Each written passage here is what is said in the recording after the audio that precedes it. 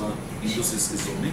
каде што имајќи предвид праксата, искуството од минатото, посебно во поделени зони, каде што се надлежност на општините и може да ми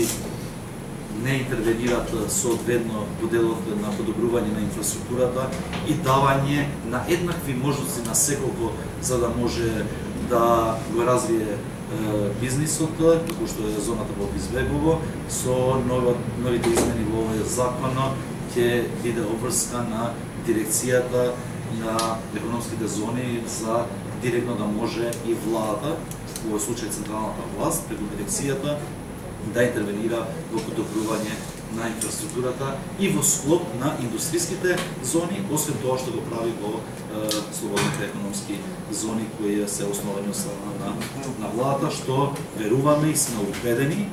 и како фидбек од страна на е, компаниите го имаме, ќе придонесе во развој и на тие зони и на тие општини каде што немат можност финансиски тоа да го